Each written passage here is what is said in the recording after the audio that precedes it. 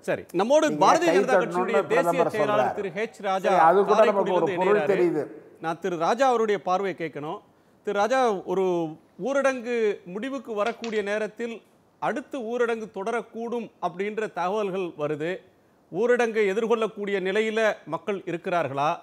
அவங்களுக்கு தேவையானதை அந்த இந்த நெருக்கடியை சமாளிக்கிறதுக்கு எதிர்கொள்றதுக்கு மக்களை நாம தயார்படுத்தியிருக்கோமா? ஊரடங்கு தொடர்வது சம்பந்தமா உங்களுடைய கருத்து என்ன? அதாவது முதல்ல இந்த ஊரடங்கினால்தான் இன்னி வரைக்கும் மூணாவது ஸ்டேஜுக்கு இந்தியா போகலை.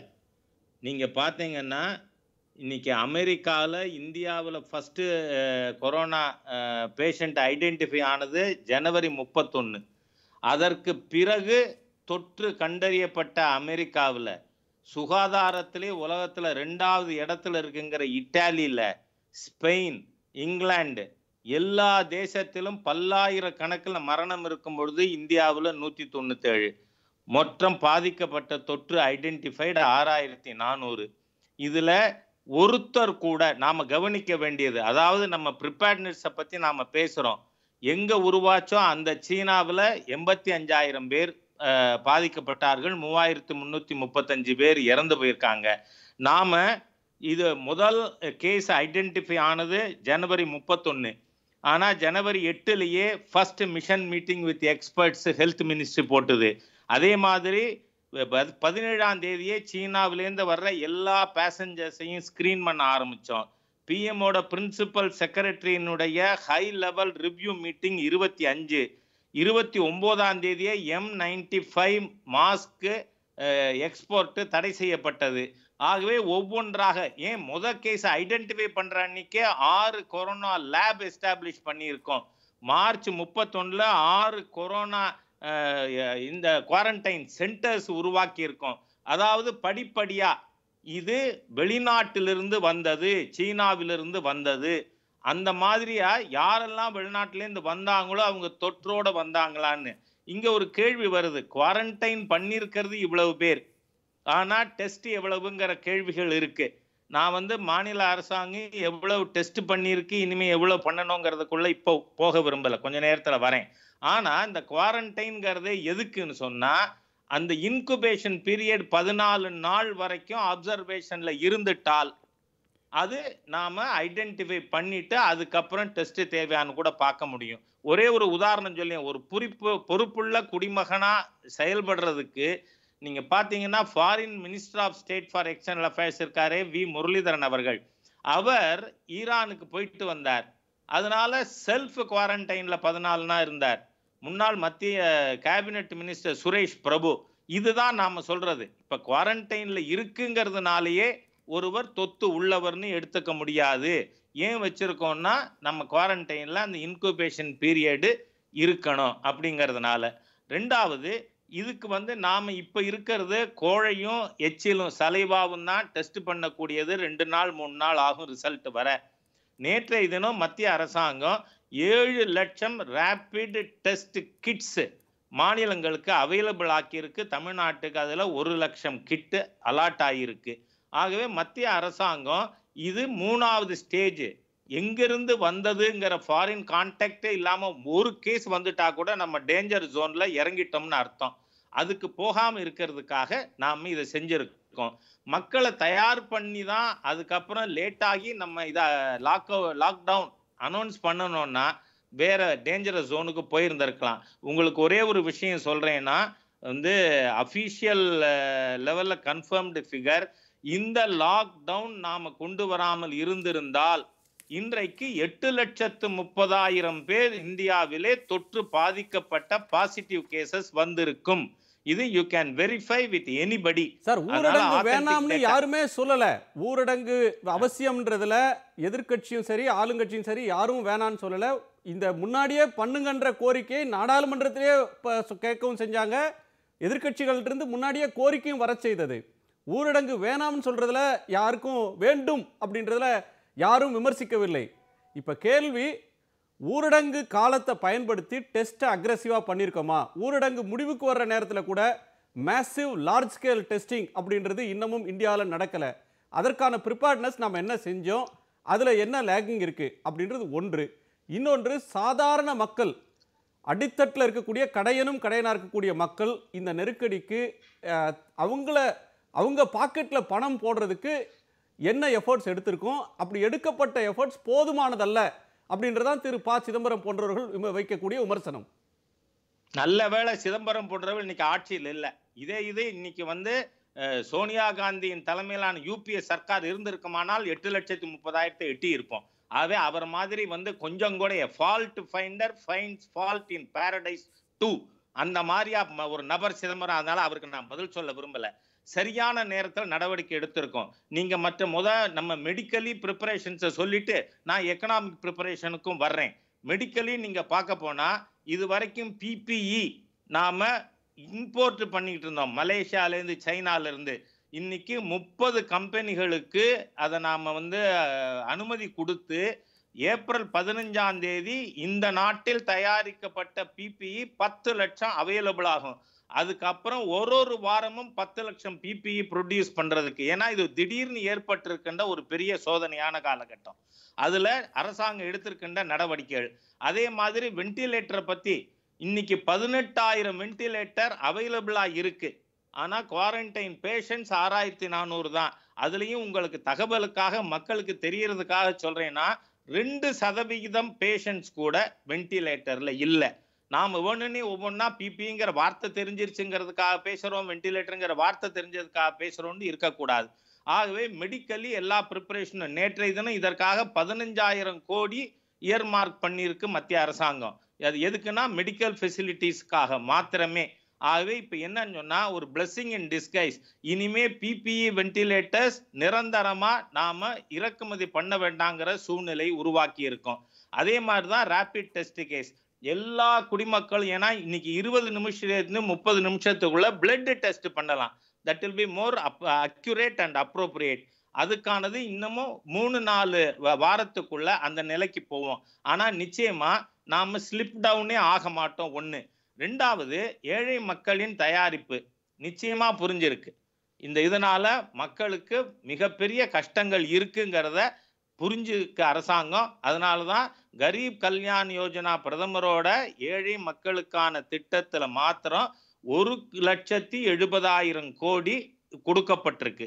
அதாவது மாநில அரசாங்கத்துக்கு ரெண்டு ரூபாய்க்கு அரிசியோ கோதுமையோ கொடுத்தது கூட அந்த ரெண்டு ரூபாய் கூட மாநில அரசு கொடுக்க வேண்டாம்னு சொல்லி முழுசும் மத்திய அரசே பேர் பண்ணிக்கிண்டு அஞ்சு கிலோவை பத்து கிலோ ஆக்கி பருப்பும் கூட சேர்த்து கொடுக்க ஆரம்பிச்சிருக்கு.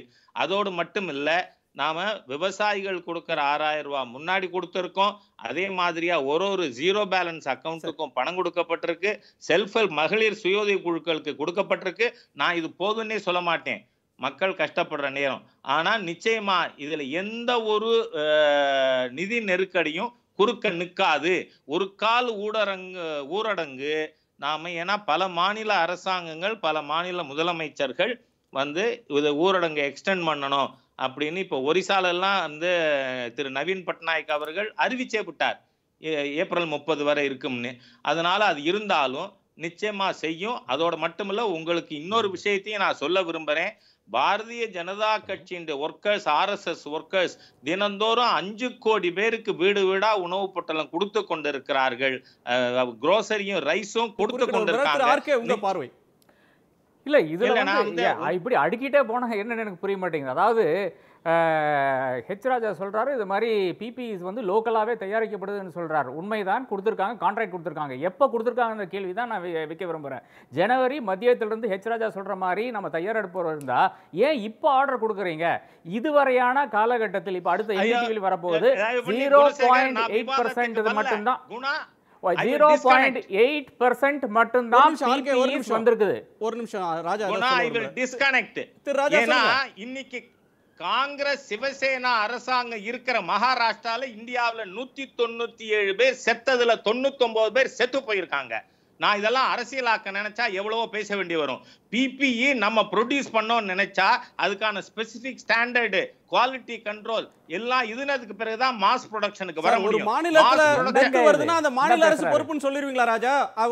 சர்வதேச விமானத்தை யார். அனுமதிச்சா? பயணிகளை யார் அனுமதிச்சாங்கன்னு சொல்லி சத்தீஸ்கர் முதலமைச்சர் புபேஷ் பாகல் இன்னைக்கு கேக்குறாரு. மத்திய அரசு ஏன் தாமதிச்சது? ஏன் இன்டர்நேஷனல்.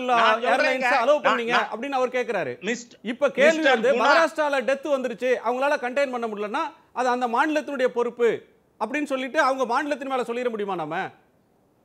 இல்ல இப்பதான் கொஞ்ச நேரம் முன்னாடி தமிழ்நாட்டுல டெஸ்ட் கேஸ் எவ்வளவுன்னு டிஸ்கஷன் நடந்தது. குணா நீங்க அரசியல் பண்ணணும்னு நினைச்சா தொத்து வந்தது காரணமே தப்லிக் ஜமாத்தோட மர்க்கஸ் கூட்டம்.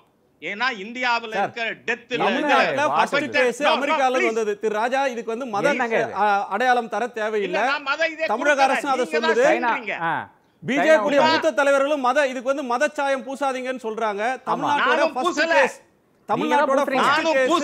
அமெரிக்கால இருந்து. வந்த ஒன்று அவர் எந்த மதத்தை சேர்ந்தவர்னு உங்களுக்கு தெரியும்? அவர் மதத்தை அரசாங்கமே அதுக்கு முயற்கல ரெண்டாவது கேஸ்?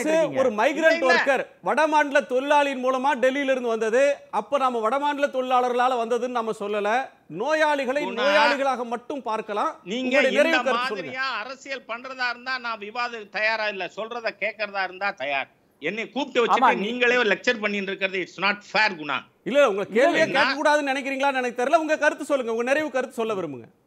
ஐயோ. ஏன்னா இன்னைக்கு இந்தியாவில் பாதிக்கப்பட்டவர்களில் ஆறாயிரத்தி நானூறுல மூவாயிரத்தி நானூறு ஒரு இடத்துல. அப்போ அங்க வந்து அதை நடத்தக்கூடாதுன்னு தடையை மீறி நடந்தது. எப்படி சிஐஏவுக்கு எதிராக தடையை மீறியும் இங்க நடந்ததோ அது மாதிரி நடந்தது. அதனால அதை குறிக்க வந்தேன். நான் ஒன்னும் இஸ்லாம்ங்கிற பேரே சொல்லலையே. ஒரு அமைப்பு பேரே சொல்லக்கூடாது. நீங்க எப்படி சொல்வீங்க? நான் மதத்தை சொல்லல. நீங்க மதத்தை சொல்ல ஏங்க பாக்கீங்க அதன் எம்பியில கவர்மெண்ட் கவர்மெண்ட் கவுத்தது அதுக்கு பின்னால தானே நீங்க?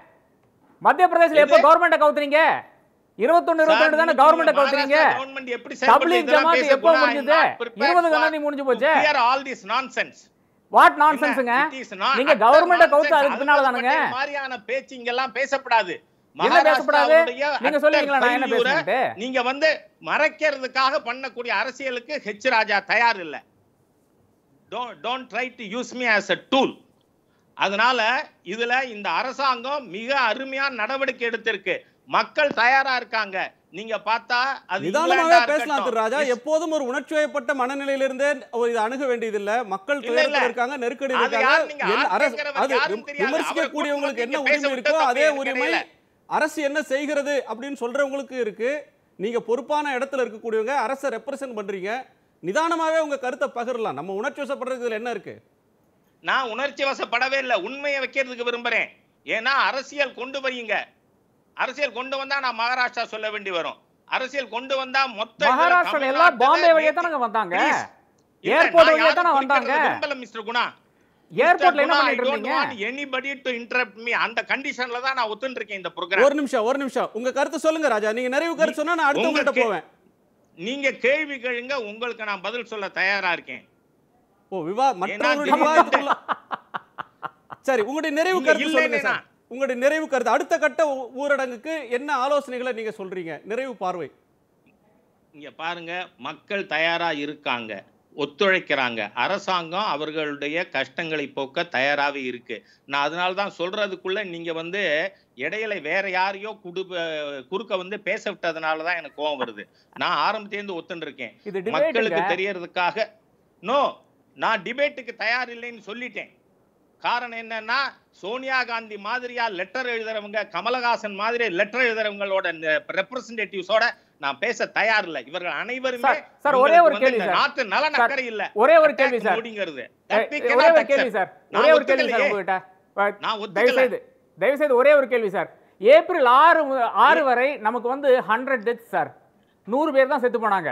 ஏப்ரல் ஆறுல இருந்து ஏப்ரல் பத்து முதல் அது டபுள் ஆகுது சார் இரநூறு டெத் ஆகுது சார் அஞ்சு நாள்ல வந்து டெத் டபுள் ஆகுது சார் எப்படின்னு மட்டும் கொஞ்சம் திரு ராதாகிருஷ்ணன் அவர் வந்து ஒரு நிபந்தனையின் அடிப்படையில் தான் வந்தாரு. நெறியாளரோட கேள்விக்கு மட்டும் கருத்து சொல்லிட்டு போறேன். அது முதற்பா இதுல மட்டும் நான் இருக்கிறேன். விவாதத்தில் பங்கேற்க விரும்பலைன்னு திரு ராஜா சொன்னார். அவர் கொடுத்த கமிட்மெண்ட்டை நாங்க மதிக்கணும். ராஜா உங்களுடைய நிறைவு பார்வை. மன்னிக்கணும் அதாவது என்னன்னு சொன்னா அனாவசியமா அரசியலாக்க நினைச்சா நான் அரசியல் பேச வேண்டி வரும்.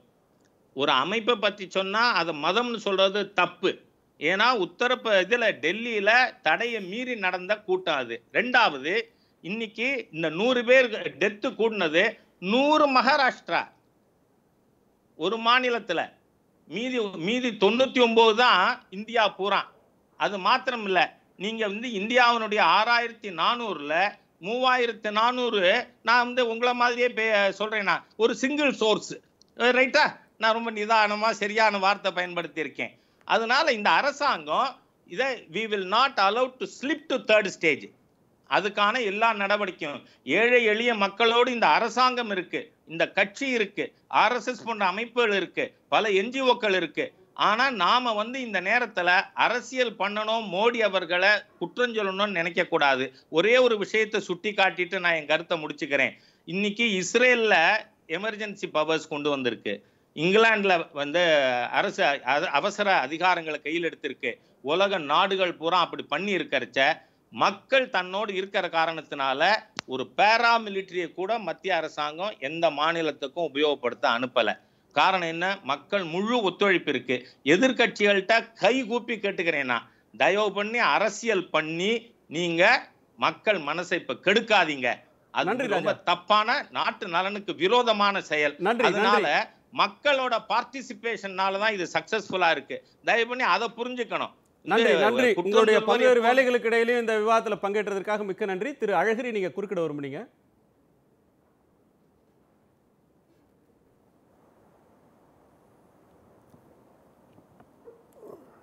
எனக்கு இப்பொழுதுதான் ஒரு விஷயம் புரிந்தது.